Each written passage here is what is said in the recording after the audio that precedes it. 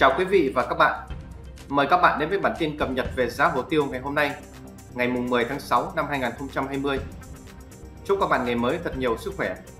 Các bạn xem video hãy ủng hộ kênh bằng cách nhấn like, chia sẻ và đăng ký, nhấn chuông để nhận được những video mới nhất mỗi khi Phố Núi TV phát hành.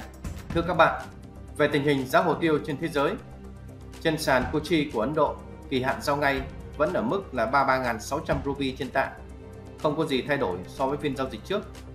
Ở kỳ hạn giao tháng 6, giá hồ tiêu đã giảm đi 20 rupee trên tạ và giao dịch ở mức là 33.100 rupee trên tạ, mức giảm là 0,06%.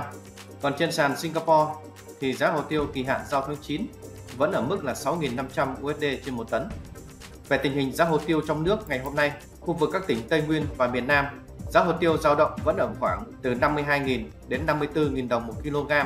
Giá hồ tiêu ngày hôm nay hầu như là vẫn giữ mức giá so với phiên giao dịch trước và chỉ tăng 500 đồng tại tỉnh Gia Lai.